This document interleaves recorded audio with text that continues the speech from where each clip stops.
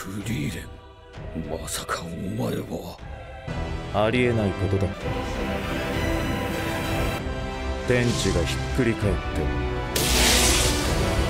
て。やってくれたなフリーレン。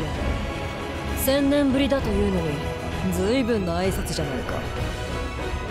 これだから魔法使いはやめられない魔法の世界では天地がひっくり返ることもある